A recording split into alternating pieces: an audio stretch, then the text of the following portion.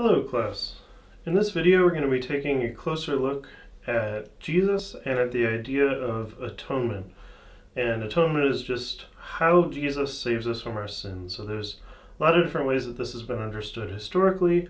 So we're first going to take a look at uh, Jesus and some of the ways that Jesus was kind of weird and unexpected, and then talk about different ways that we have understood understood uh, Jesus's uh, saving us or atonement uh, throughout history, and then maybe kind of piece together um, what that means for us today. so, one of the first things that's important to note about Jesus is that Jesus is really weird. Uh, Jesus is a very strange Messiah, and he was not what people were expecting. So, there's a number of weird things about Jesus' ministry that we maybe don't think of as weird because we're just used to Jesus. That's all that we ever have known. Um, but one weird thing is this idea of the messianic secret. Uh, this comes out really in all the Gospels. But it's the idea that Jesus doesn't want people to know that he's the Messiah. so, one passage where this is talked about is in Matthew 16 13 through 20. It says, Now, when Jesus came into the district of Caesarea Philippi, he asked his disciples, Who do the people say that the Son of Man is? And they said, Some say John the Baptist, but others Elijah, and still others Jeremiah or one of the prophets. He said to them, But who do you say that I am? Simon Peter answered, You are the Messiah, the Son of the living God. And Jesus answered him, Blessed are you, Simon, son of Jonah, for flesh and blood has not revealed this to you, but my Father in heaven. And I tell you, you are Peter, and on this rock I will build my church, and the gates of Hades will not prevail against it. I will give you the keys of the kingdom of heaven, and whatever you bind on earth will be bound in heaven, and whatever you loose on heaven, loose on earth will be loosed in heaven. Then he sternly ordered the disciples not to tell anyone he was the Messiah. Now, the end of that story should sound weird to you. Peter makes this grand declaration. Other people are saying Jesus is a prophet or whatever. Uh, he's some special guy, but they're not really sure. Peter comes out with this bold declaration of faith saying, you're the Messiah. You're the anointed one. You're the one that we've been waiting for. Jesus is like, Awesome. Good work. Now don't tell anybody. Now, why would Jesus do that? Um, and the answer to this question uh, in most theological circles is to say that Peter understood that Jesus was the Messiah, but Peter didn't understand what the Messiah was actually going to do. Peter was sort of stuck in a wrong way of thinking about the Messiah that we're going to take a look at in a second. And we see this happen really quickly, where right after this, Jesus is talking about how he's going to need to suffer and die, and then Peter says, No, that's not going to happen. And Jesus says, Get behind me, Satan. Well, that's pretty strong language. Uh, I think we'd all be pretty devastated if Jesus referred to us as Satan. Um, but what Jesus is demonstrating is that Peter doesn't really know why Jesus is there. Jesus doesn't understand what his identity means, so he can't talk about it yet because Peter thinks that he's going to be this conquering king, and actually, Jesus is the suffering servant. Um, another way that Jesus is very strange is he didn't reestablish proper temple worship. That's something that people were looking for in the Messiah. Jesus also did not defeat the Roman Empire, but he presumably was going to defeat the Romans, uh, reestablish the nation of Israel.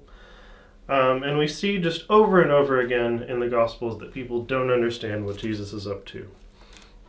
So we see another example of that in Mark chapter 8, verses 14 through 21. it says, Now the disciples had forgotten to bring any bread and they had only one loaf with them in the boat. And he cautioned them, saying, Watch out, beware of the yeast of the Pharisees and the yeast of Herod. They said to one another, It is because we have no bread. And becoming aware of it, Jesus said to them, Why are you talking about having no bread? Do you still not perceive or understand?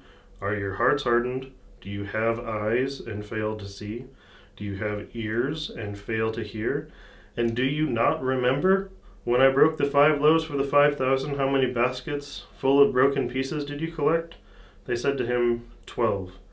And The seven for the four thousand, how many baskets full of broken pieces did you collect? And they said to him, Seven.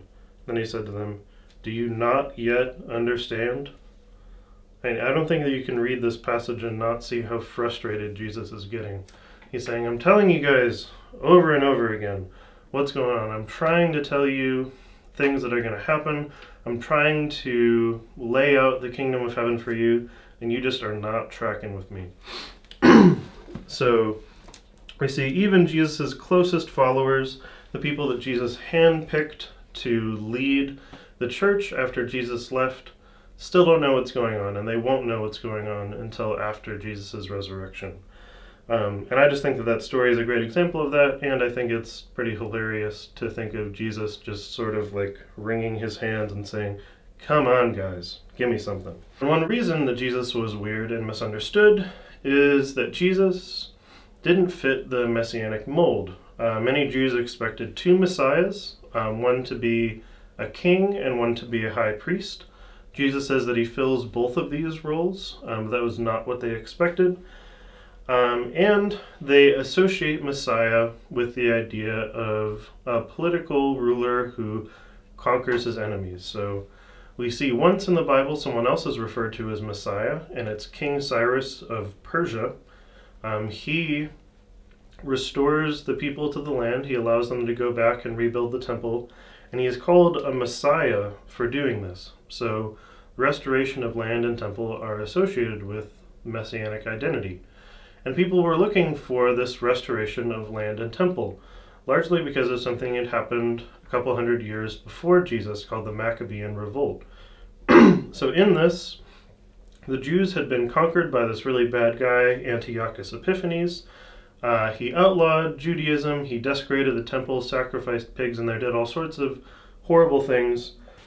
And then there was this rebellion. This guy named Mattathias rebelled along with his sons. Uh, Judah was the main son who eventually became a ruler. They liberated Israel, they cleansed the temple, uh, and then Hanukkah is actually the celebration of that rededication of the temple uh, by the uh, Maccabees that formed the Hasmonean dynasty.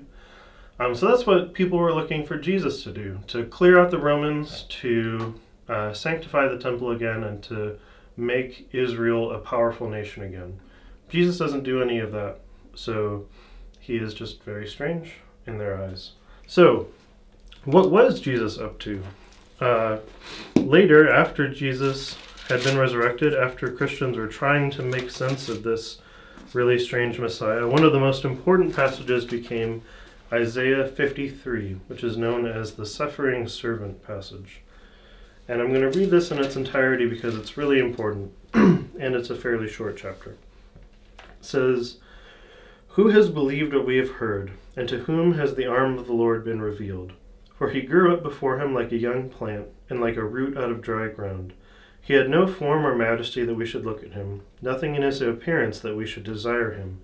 He was despised and rejected by others, a man of suffering and acquainted with infirmity. And as one whom others hide their faces, he was despised, and we held him of no account. Surely he has borne our infirmities and carried our diseases. Yet we accounted him stricken, struck down by God, and afflicted. but he was wounded for our transgressions, crushed for our iniquities. Upon him the punishment that made us whole, and by his bruises we are healed. All we like sheep have gone astray we have all turned to our own way, and the Lord has laid on him the iniquity of us all. He was oppressed and he was afflicted, yet he did not open his mouth. Like a lamb that is led to slaughter, and like a sheep that before its shearers is silent, so he did not open his mouth. By a perversion of justice he was taken away. Who could have imagined his future? for he was cut off from the land of the living, stricken for the transgression of my people. They made his grave with the wicked, and his tomb with the rich, although he had done no violence, and there was no deceit in his mouth. Yet it was the will of the Lord to crush him with pain. When you make his life an offering for sin, he shall see his offspring, and shall prolong his days. Through him the will of the Lord shall prosper, out of his anguish he shall see light. He shall find satisfaction through his knowledge. The righteous one, my servant, shall make many righteous, and she, he shall bear their iniquities. Therefore I will allot him a portion with the great, and he shall divide the spoil with the strong, because he poured out himself to death, and was numbered with the transgressors. Transgressors. Yet he bore the sin of many, and made intercession for the transgressors. so this was not really an important passage in talking about the Messiah in Judaism at the time. But Christians looked back in the Old Testament and saw that this fit what Jesus' mission was, that Jesus came to be that suffering servant, that, as N.T. Wright talks about, Jesus' death was his coronation, that he's given a crown, he's raised up and exalted, um, that this is Jesus Jesus' way of being king.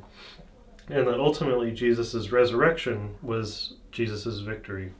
So he takes all of this death and evil and sin into himself, and that isn't able to bring him down, that isn't able to defeat him. And the resurrection is the ultimate vindication of Jesus. So, after Jesus' death and resurrection, all of these weird things that he had been saying made sense that the last will be first, that you need to lose your life to save it. Um, this upside down kingdom that he's setting up. So, I would say then, to make sense of Jesus' victory, we must inhabit the inverted world of the kingdom of God, where those who mourn and are persecuted are blessed. It's difficult or impossible for rich people to enter, but easy for children, where the last is first, and only by giving up your life will you save it. Now, just you can take a whole class on Christology, but this is just bare bones Christology uh, that Jesus is fully God and fully man. Oop, that is a problem. Sorry about that. I might cut that up. All right. So, a brief overview of Christology. Jesus is fully God and fully man a human nature and a divine nature in one body that are separate but united in the body of Christ. That Jesus is the second person of the Trinity, and that Jesus' mission is salvation. Um, and later, the Holy Spirit comes to uh, nurture and establish the church. Getting to atonement, uh, the one that we're probably familiar with is called penal substitutionary atonement. So, in this idea, we owe God a debt because of sin, we can't pay it. Therefore, Jesus comes and pays the debt with his life. Um, and then Jesus' blood covers us. So, even though we're guilty, God looks at us and sees Jesus and therefore doesn't condemn us. This is actually really formulated during the Reformation, and it's based on an earlier theory by a guy named Anselm who said that we had offended God's honor um, and that Jesus needed to come to restore God's honor because we couldn't do it ourselves. So I think that at least these uh, ways of talking about these two theories are at least potentially problematic, that we need to avoid some pitfalls here.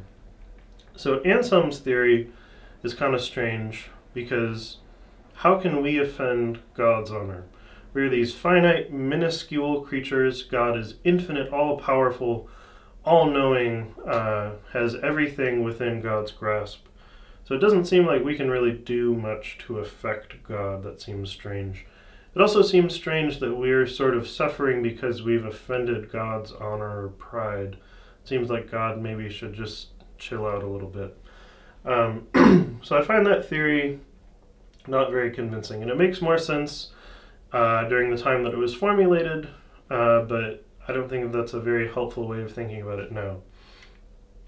And sub- penal substitutionary atonement, the one that you've probably heard about and sung about and all that, is helpful, but I think we need to understand a few things about it. so, one, Jesus is God. So it's not that God is sacrificing God's Son, that is true within the Trinity, but ultimately it's God taking our place. So God sacrificing God's self um, because they're inextricably bound together in the Trinity. We also can't say that Jesus is sort of hiding us from God because the Trinity all works together. Jesus can't sort of do something that God isn't doing. That's not how the Trinity works. also, uh, God the Father in this story can sort of come across as this God that wants to hurt us but can't find us, this bloodthirsty, angry God that is sort of looking for sins to punish. But if we look throughout the biblical story over and over again, what God gets mad about is distortions of creation, um, when things have gone wrong, not according to God's plan.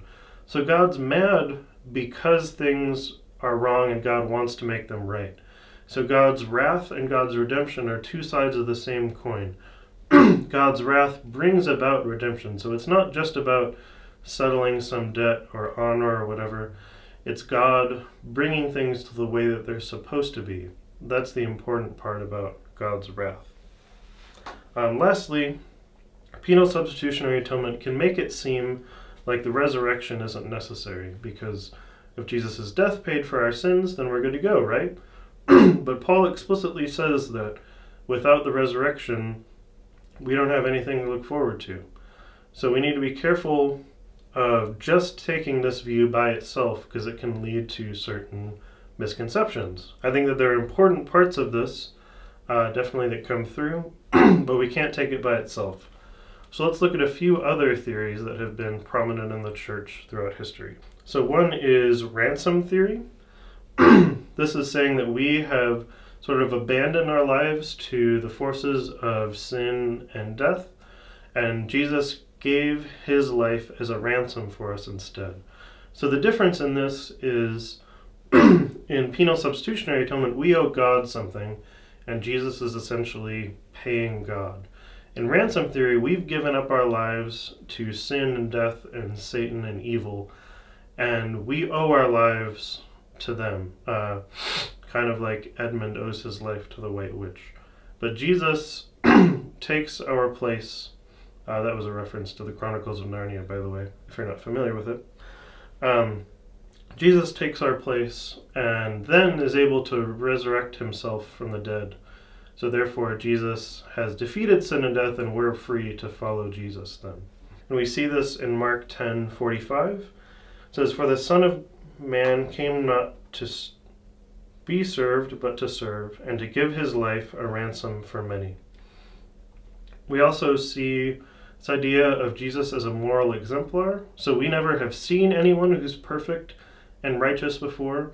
Um, but through Jesus, we get an example of what a perfect human life looks like. So, this is an important aspect of Jesus' atonement, saving us, is giving us this perfect example to follow. Um, and that's something that we miss if we just talk about Jesus' death. Jesus' life is also very important because we're supposed to be little Christs, we're supposed to act like Jesus. There's also Christus Victor, which is the idea that through death and resurrection, Jesus conquers death, that this is Jesus' victory. So, this is how Christ becomes victorious, is through death and resurrection. This is acknowledging Jesus' victory. And we see this all over the place, but one nice one is 1 Corinthians 15 55 through 57. O death, where is your victory? O death, where is your sting? For sin is the sting that results in death, and the law gives sin its power. But thank God, He gives us victory over sin and death through our Lord Jesus Christ.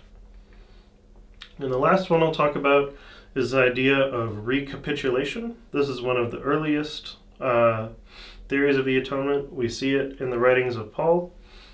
And this is the idea that Adam was supposed to be God's helper, God's servant, God's priest in the world but Adam rebelled, and we're all sons of Adam or daughters of Adam, daughters of Eve. um, so Adam messed up, and that sort of started this process where everything's messed up afterwards. But Jesus came to be the new Adam, to restore things, to give us a new shot at being human the right way, to be truly human. and we see this in Romans 5 18 through 19. Therefore, just as one man's trespass led to condemnation for all, namely Adam, So one man's act of righteousness leads to justification and life for all. For just as by the one man's disobedience the many were made sinners, so by the one man's obedience the many were made righteous. So here we see that Jesus is this new Adam who got it right. So hopefully this gives you a more kind of fleshed out view of the atonement. That it's not just about Jesus' death and paying our debt.